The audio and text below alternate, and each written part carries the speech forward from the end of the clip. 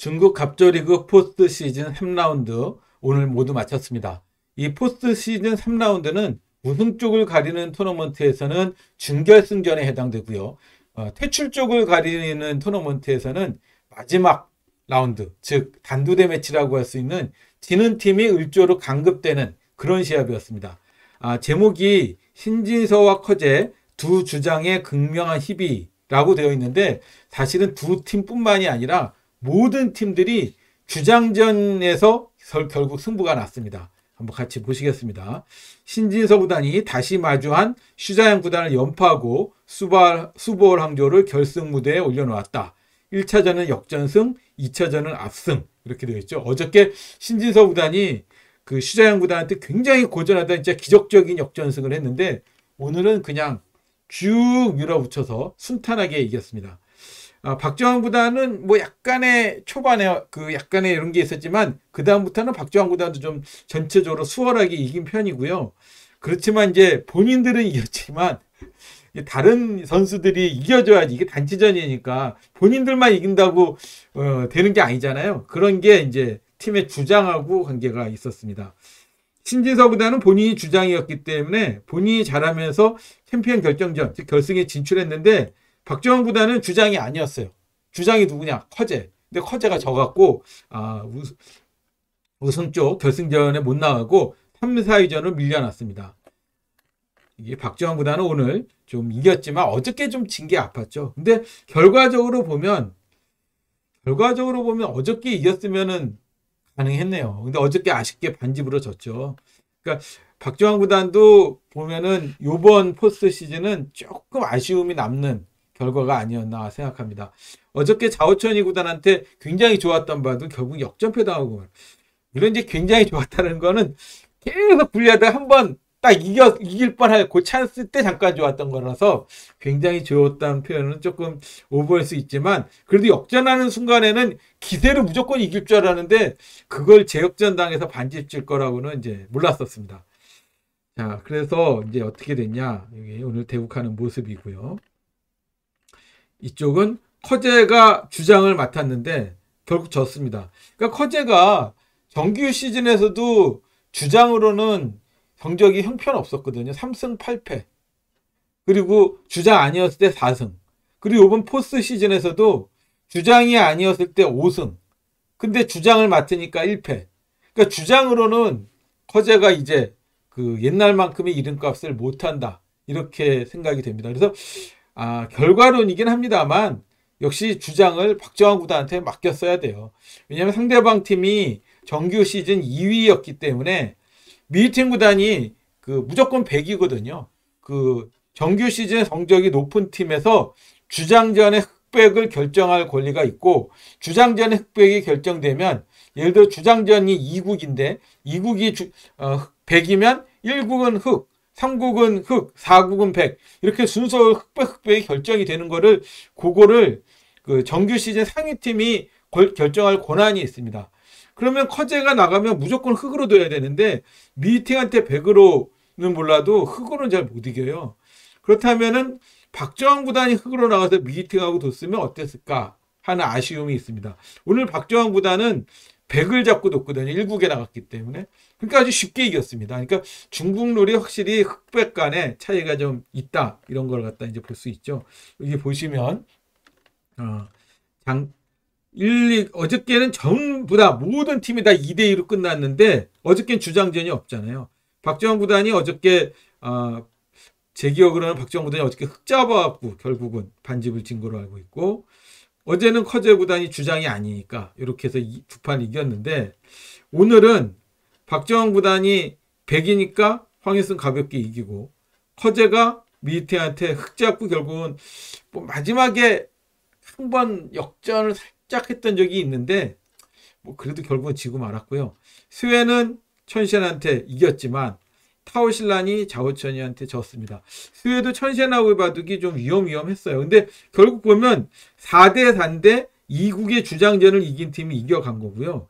이쪽 저장하고 수보랑조 이것도 마찬가지입니다. 수보랑조구가 정규리그 1위였기 때문에 신진서보다는 100 잡고 드니까 상대적으로 시자양 구단한테 어저께 흑잡고 고전한 거고 오늘 아주 수월하게 이겼습니다. 그리고 셰커가 장타오한테 지고 리친청이 이야마 유타 이야마 유타가 아, 이번 시즌 첫 승리를 거둔 걸로 알고 있어요. 이치리키로나 뭐 시바노 도라마루나 올 시즌 들어서 이번 그 포스트 시즌까지 통틀어서 제 기억으로는 일본 선수 중에서 이 승리가 유일한 승리. 그리고 리친청의 속기의 천재라 그러는 궤도 리친청한테 이겼다는 거에 큰 의미가 있을 수 있습니다. 더군다나 이야마는 흑잡고 이겼네요. 흑잡고 속기로 리친청을 이겼다. 이거는 이제 이름값을 했다 할 수 있죠. 롄샤오가 흑을 잡았기 때문에 탄샤오한테 엄청나게 고전하다가 마지막 순간에 진짜 간신히 간신히 이겼습니다. 그래서 롄샤오가 탄샤오한테 졌으면 오늘 신진서 혼자 이겨갖고 그 박정환 팀하고 3, 4위전을 할 뻔했는데 그래도 렌샤오가 마지막 순간에 극적인 역전승을 하면서 어, 두 명의 승리로 4대4 주장 승리로 결승전에 올라왔습니다. 그러니까 준결승전이 모두 4대4의 2차전 주장전 승리로 결정이 났으니까 주장전이 얼마나 중요하냐. 주장전 한 판은 2승에 해당된다 할 정도로 정규 시즌에서 상위 팀한테 그만한 그 어드밴스가 주어졌다라고 볼 수 있는 거죠. 왜냐하면 포스트 시즌에서는 2차전에만 주장전이 있고 그 주차 주장전에서 100을 줄 권리를 갖고 있다는 게 이렇게 큰 영향을 미쳤습니다.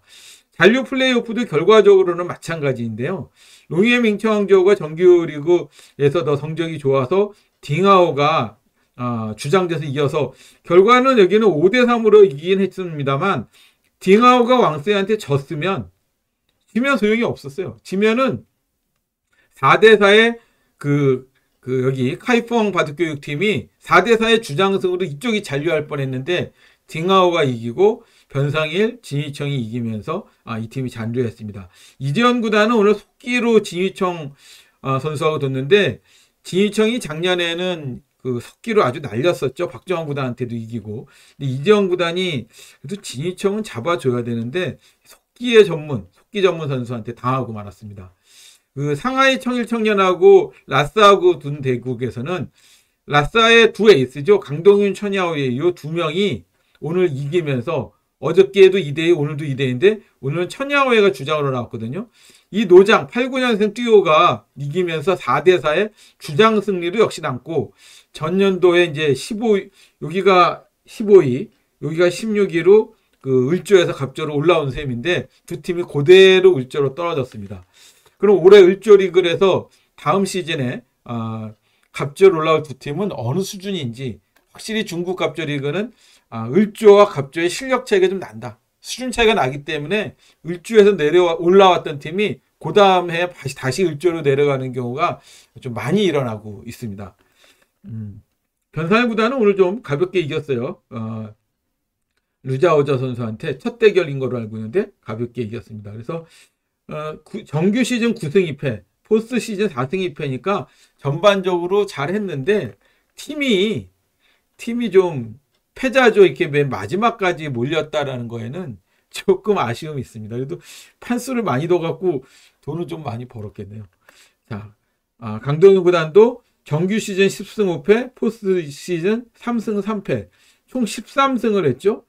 아, 변상일 구단도 총 13승을 했고, 13승이니까 곱하기 대국료 얼마씩인지 모릅니다만 그렇게 하면 되고 반면에 이재현 구단은 갑조리그에 올해 처음 데뷔했는데 정규 시즌 3승 8패, 포스트 시즌 2패.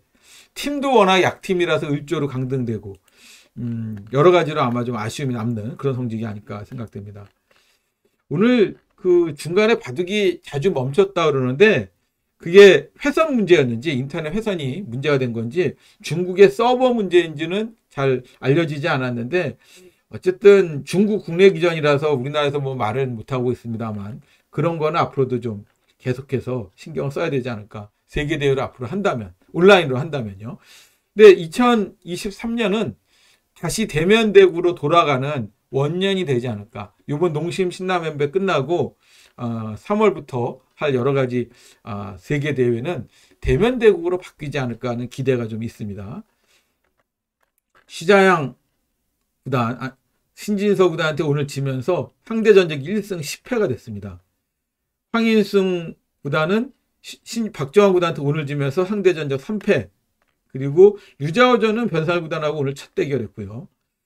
어, 예, 여기 강조구단에게 불계 승패가 아니라 불계 패한, 불계를 패했습니다. 청재 사단은 상대전적 2패.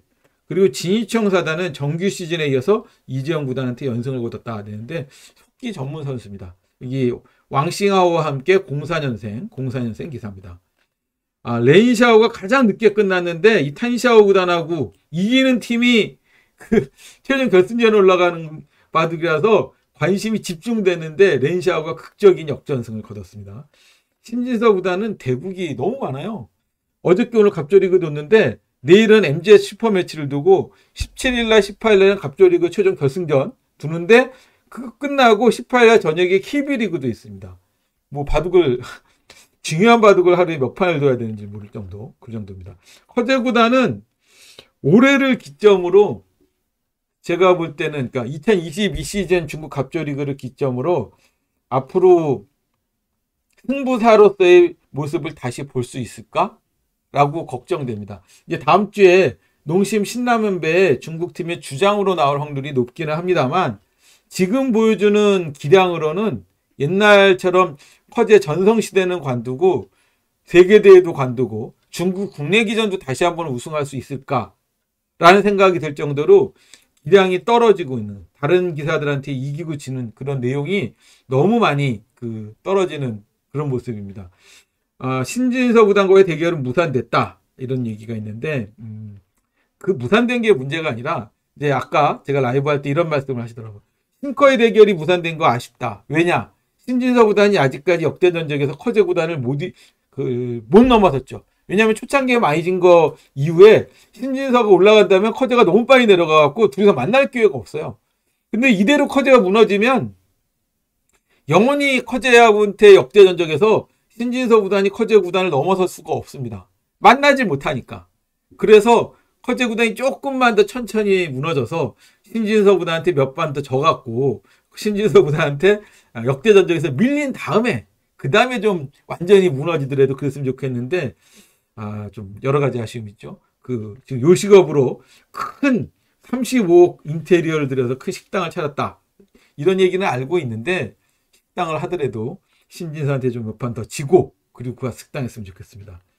신진서 구단은 갑주리그에서 개인적으로 세 번째 팀 우승을 노리고 있다라고 되어 있습니다. 여기 보시면 정규리그 1위 팀 신진서 구단의 수보월 항저우와 어, 여기 저장은 진짜 기적적으로 8등으로 이 승자조에 합류했는데 여기 취조우한테도 첫날 3대1로 깨지고 둘째 날 1대3으로 이겨서 3대1로 거꾸로 이겨서 아, 기적적으로 이기고 충칭한테도 첫날 2대2 둘째 날에 그 리쉬안하오한테는 주장전에 졌는데 나머지 세 명이 다 이기는 기적을 보이면서 여기 올라왔고 오늘도 또 그럴 뻔했어요. 신지 첫날 첫째 날 2대2 둘째 날 주장한테 신진서한테 지고 나머지 세 명이 다 이겨서 올라갈 뻔했는데 롄샤오가 탄샤오를 막았죠. 기적의 팀이 될 뻔하다가 마지막 순간에 무산됐고 장수는 어, 미위팅만 잘 두는 건 아니고요. 황희순도 있고 자오천이 천시엔 다 괜찮게 두면서 여기 물론 선전도 박정환 커제 스웨 타오실란이 있지만 박정환 커제 투톱인데 커제가 너무 못하니까 장수한테 결국은 2대2, 2대2에서 주장 승리로 미팅이 버티면서 결승에 올라왔는데 선전하고 항저우하는 거 하는 것보다 오늘 결과로 보면 커제가 저렇게 약하면 장수의 미위팅의 장수하고 하는 게 더 재밌을지도 모른다라는 생각이 듭니다. 뭐 우승은 예측할 수가 없어요. 주장전에서 신진서보다는 이길 것 같긴 한데 나머지 선수들이 요즘 그 리친청, 레인샤오 셰커가 다 약해요. 요즘 요즘 성적이 안 좋습니다. 실력 자체가 약한 선수들이 아닌데 어, 너무 안 둬서 그런지 좀 재기량이 아직 안 돌아온 것 같습니다. 잔류 플레이오프에서는 결국 16위 강등됐고요. 여기 15위 강등됐습니다.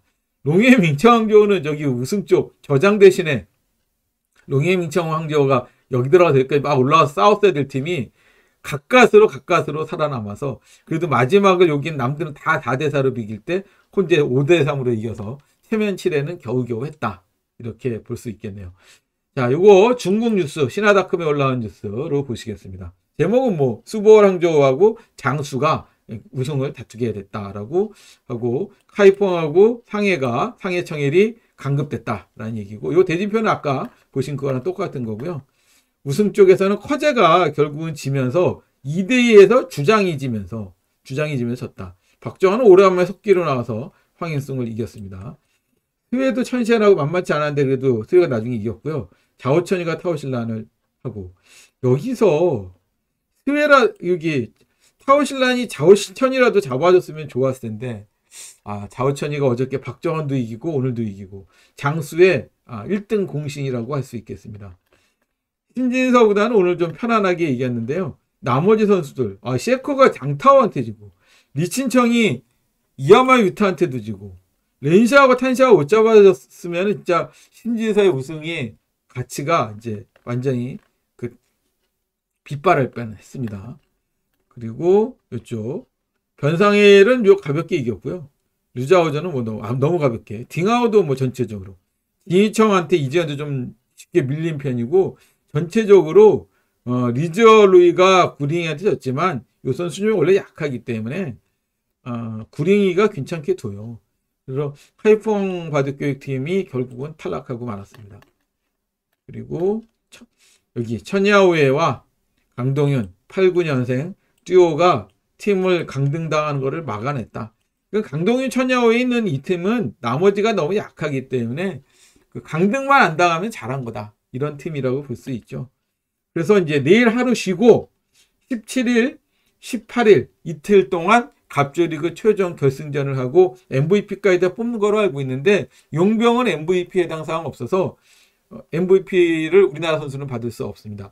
이 수보월 항저우는 그동안 여섯 번을 우승을 했는데 여섯 번째 우승을 노리는 거죠. 참. 요번에 여섯 번째 우승을 노리는 건데 지난번 우승 두 번은 최근 우승 두 번, 2021 시즌하고 2019 시즌은 신진서 구단이 잘해서 우승을 했는데 그때 어, 우승을 했다고 MVP를 주지는 않았어요. 그때도 막 준우승 팀에 MVP를 주고 그랬습니다. 그래서 딩아우 구단이 MVP를 받고 그랬거든요. 그러니까 2019 시즌에는 신진서 구단이 수보월 항저우가 우승하고 딩아우 구단의 롱해 민청 항저우가 준우승을 했는데 준우승에 딩아우 구단한테 MVP를 줬고요. 2020년 시즌에는 변상일 굿자오가 활약한 장씨가 우승을 했고요. 2021 시즌에는 신진서 구단이 대활약을 하면서 우승을 했는데 MVP는 아마 셰커를 줬나 그랬을 겁니다. 그리고 그 전에도 우승했을 때 2015, 2016 시즌에도 롱이의 민청항저우가 한 번 우승을 두 번을 우승했을 정도로 아, 성적이 좋았는데 그때는 박주환 구단이 수보랑조에서 활동할 때니까 수보랑조는 2015, 16에도 우승을 했는데 그때 박정환이 그쪽으로 갔고 박정환이 청두로 옮기면서 그 빈자리를 신진서가 간 겁니다. 신진서는 그전에 또 딩하오와 같이 롱이의 맹청 항조에 같이 있었어요. 그리고 예전에 2009년에도 수벌 항조가 우승했다는데 그때는 또 누가 했었는지 모르겠습니다. 그러니까 수벌 항조가 명문팀이라고 할 수 있죠. 근데 팀을 롱의 맹청 항저까지 두 팀을 운영을 하다 보니까 돈이 아무래도 많이 들어서 올해 신진서 구단을 몇 번 빼고 돈 아끼려고 그런 행동을 하기도 했었습니다. 자 여기 어, 댓글 댓글 보시면 아 갑조의 그런 걸 전체적으로 봤을 때 신공지능이 발휘하는 그 안정성 이런 거는 전체적으로 그 상당하고 그 전, 그 전체를 갖다 지배하고 있다. 굉장히 무섭다. 무서워할 정도로 그 바둑계를 갑조 리그를 다 지배하고 있는 게 신공지능이다라고 할 정도로 사실 신공, 신진서가 주장전을 이기면 나머지 선수 누가 한 명씩만 이겨주면은 그냥 우승이 되니까 신공지능이 지배한다라고 말할 수 있는 거죠. 작년 시즌에도 딩하워 최종 결승에서 신진서 주장전을 이기면서 우승했던 거거든요. 스볼은 굉장히 뭐 세다라는 거 다시 얘기할 수 있고 근데 리친청이 속기에서도 이야마 유타를 이길 수 없는 거야? 이 리친청은 쾌도라고 그래갖고 토끼에서만큼은 아암동산배에서도 우승을 하고 일중 아암동산배에서도 우승을 했을 정도로 토끼에서는 최고 대가라고 할 수 있는데 이하마한테 지는 걸 보고 이런 얘기가 나온 거였습니다. 아, 요번 중국 갑조리그에서 속기의 제한 시간은 농심 신라면배와 같이 1시간씩이에요. 아, 지금 다음 주에 벌어질 농심 신라면배에서 일본은 이하마 유타 한 명 남아있는데 이하마 유타하고 박정환 구단하고 이제 두거든요. 그때 이하마 유타가 또 속기를 어떻게 둘지 그것도 한번 봐야 될 것 같습니다. 아, 허재는 담당하고 있는데 주장을 담당하고 있다는 얘기겠죠. 근데 바둑을 전문으로만 하더라도 이제는 다시 우승을 하기, 우승 한번 하기 힘들 것 같다. 다시 한번 우승하기 힘들 것 같다. 이런 얘기를 아, 하고 있습니다. 허재가 옛날 같지 못해요. 확실히 옛날 같지 못합니다. 실력 자체가 좀 약해진 것 같습니다. 오늘 이길 뻔한 찬스가 있었지만 초반에 완전히 망했던 바둑을 중반에 역전시켰으면 지켜야죠. 역전시키자마자 다시 역전당하는 거는 허재답지 않다. 아무리 상대가 미미팅으로 잘 두는 기사라 할지라도 허재가 이제는 그 더 이상 중국 경기의 1호 이건 아닌 것 같다. 지금 일반적인 선수들 중에서는 제가 생각할 때 중국에서 어, 견제해야 될 선수 LG배 결승에 올라온 딩하오와 양딩신 그리고 치팅 의혹에 둘러싸여진 리시아나오 이세 선수가 결국은 어, 신진서 구단이 그 좀 눈여겨 봐야 될 선수들이 아닌가 이렇게 생각이 듭니다. 자 오늘 뉴스 여기까지 하고요. 내일은 하루 쉬고 금요일 토요일 어, 최종 갑조리그 결승전 그리고 3, 4기전 중계 때 그때 뵙겠습니다.